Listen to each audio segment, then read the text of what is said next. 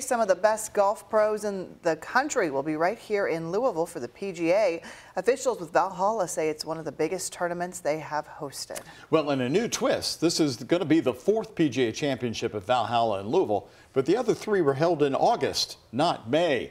WHAS 11's Connor Steffen and senior photojournalist Alyssa Newton have the story on how the volunteers there are going to be handling any potential hazard. Across the calm greens and fairways of Valhalla Golf Club, Everything's dictated by weather. there's a sense of controlled chaos.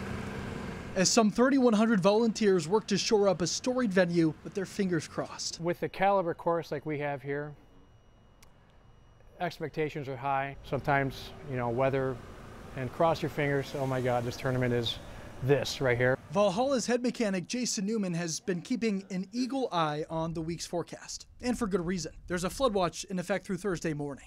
You know, instead of uh, going out there to mow whatever, we have to put back the bunkers or uh, pick up uh, some debris from a tree that fell down. In the words of PGA Championship Director Ryan Ogle, hope for the best, plan for the worst. and we're, we're monitoring it, making sure safety is first and, and foremost. Um, but we're optimistic it's going to be a fantastic week, and we'll do whatever is necessary. The last time that this course hosted a PGA Championship was 10 years ago, and unfortunately, it featured some torrential downpours. Six years earlier, it was the Ryder Cup in 2008 and a tropical cyclone storm thanks to Hurricane Ike. There's so many memories. I, I tell you what, the weather knocked down a TV tower in 12 green. Like I said, cross your fingers for this freaking tournament. I just, I do not, I, I want it to be clear, sunny, We have an entire staff crew. We've got um, emergency services, we've got PGA staff, we've got Valhalla staff uh, ready to service anything that happens. Ogle says the course's past weather hazards will serve them well this time around when it comes to storm preps. Yeah, this is the 106th playing of the PGA Championship. There's nothing we haven't faced. The tedious work continues to boost a city that'll soon find itself at the center of an international sports spectacle.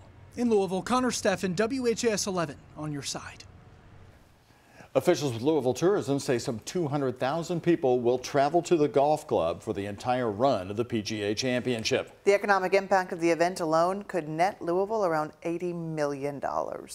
And today we got our first look at the PGA shops down at Valhalla. The shop is the largest of all the 285 structures built for the championship.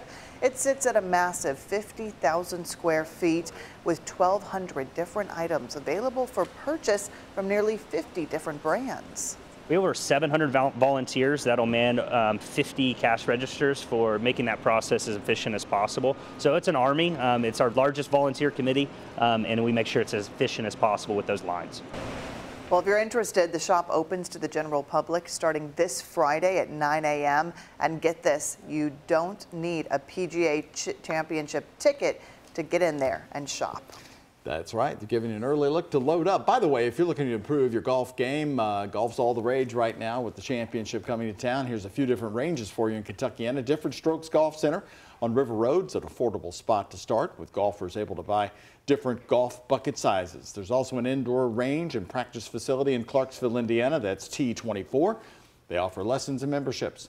And if you're looking for just some fun hitting the golf balls, Topgolf at Oxmoor Center is a great place to swing as an amateur or a pro. All of those places probably busy this weekend, Doug, with people getting in the spirit. I know it. Hopefully, we're going to have a great weather forecast. and Fingers we're gonna